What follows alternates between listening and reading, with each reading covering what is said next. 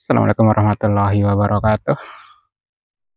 Di video kali ini kita akan membuat lagi cara agar durian yang kita tanam dari biji ya agar cepat berbuah kawan-kawanku kita akan membuat tutorialnya cara menyambung ya.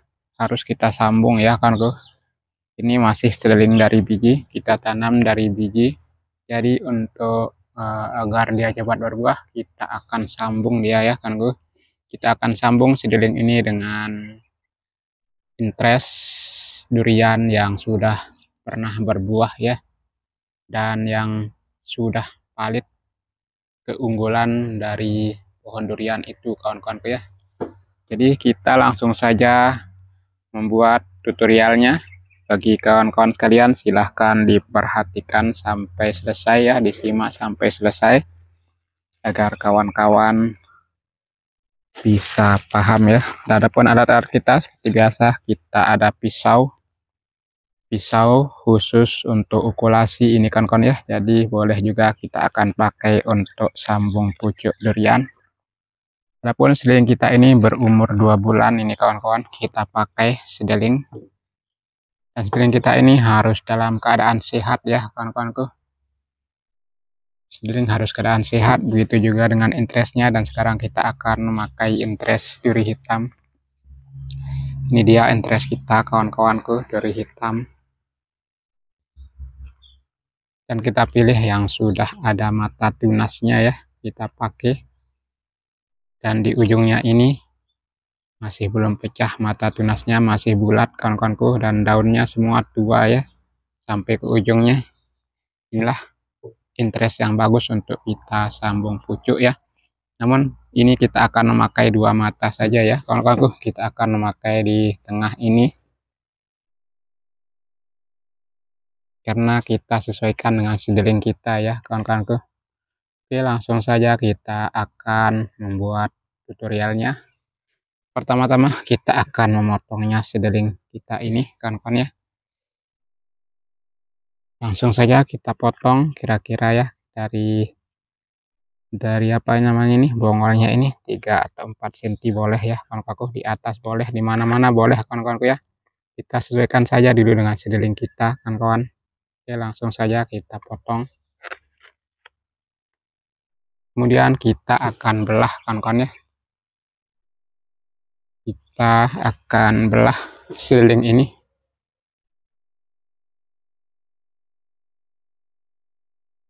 Kita akan belah. Dalam membelah ini usahakan harus rapi ya. Jangan sampai berserabut ya kawan-kawanku. Itulah kuncinya. Pisau kita harus tajam. Seperti ini kawan-kawan hasilnya kemudian kita akan ambilkan interest.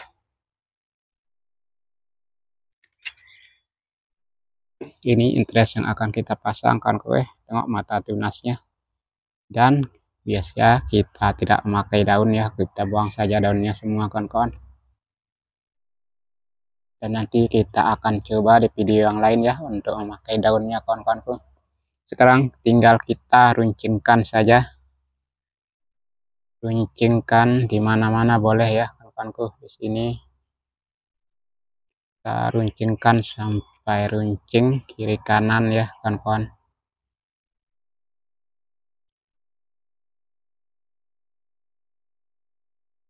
Usahakan harus rata dan harus dipercepat ya kawan-kawanku. Seperti ini saja. Jangan sampai eh, yang kulit yang kita iris ini terlalu kering ya kita percepat saja. Dan usahakan juga ini harus rata ya kawan-kawanku. Oke tinggal kita akan ikat. Ya, ikat saja dari bawah. Dan jangan terlalu kencang ikatnya kawan-kawan ya. Oke sudah segini saja tinggal kita kunci saja. Oke sudah selesai kawan-kawan. Tinggal kita sungkup ya. Dan kita akan membuat satu lagi. Nanti sekali-kali kita akan sungkup. Kita ambil lagi satu. Nah yang akan kita pilih ini sedeling kita banyak. Ini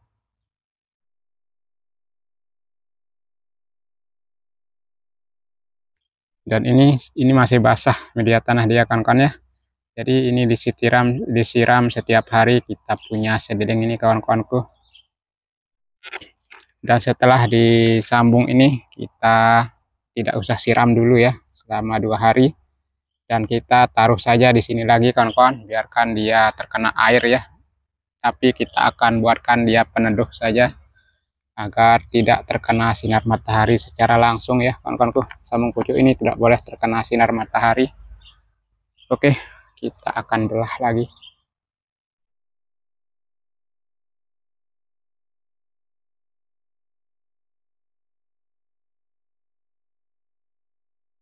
Pisaunya harus tajam ya boleh juga memakai mata pisau silet kawan-kawan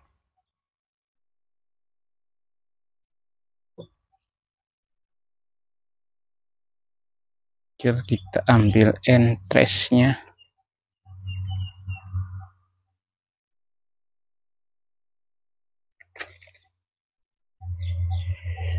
entresnya kita akan ambil.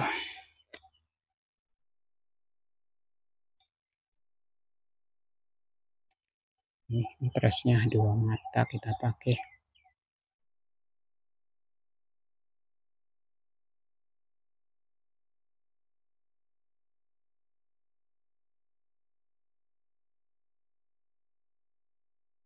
oke sudah.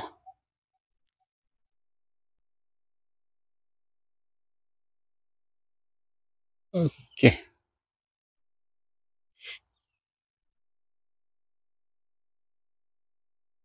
Kita ikat saja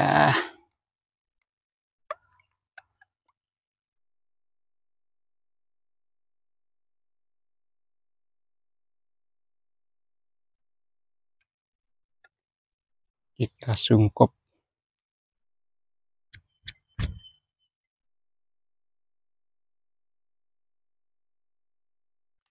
mana sungkup kita?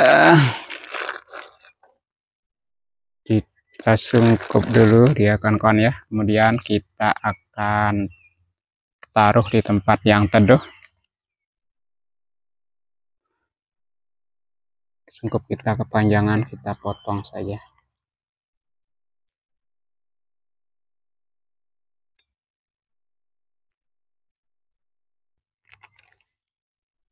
dan kita akan sungkup selama satu bulan. Kalau sudah satu bulan kita harus buka ya kawanku.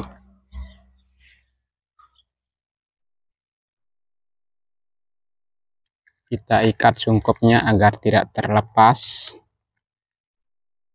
Dan kita akan taruh di tempat yang teduh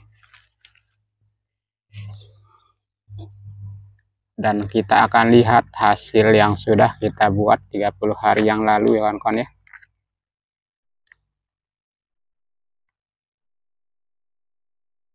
Oke, sudah pun selesai kita membuat kawan-kawanku. Sambung pucuk durian agar cepat berbuah. Jadi ini dia hasil yang sudah kita buat ya sudah pun tumbuh seperti ini kawan-kawanku. Kalau sudah seperti ini ini sudah uh, satu minggu saya buka sungkupnya dan ini sudah boleh kita taruh di tempat yang panas kawan-kawanku ya ya. Jadi kita berhasil membuat sambung pucuk dengan memakai dua mata ini kawan-kawanku. Sedangkan ikatannya ini ya nanti kita buka ya nanti kita buka dia akan ketat di sini atau satu minggu lagi kita akan buka dia ini kawan-kawan. Ikatannya ini ya. Oke kawan-kawan sampai di sini dulu. Semoga bermanfaat. Sekian. Assalamualaikum warahmatullahi wabarakatuh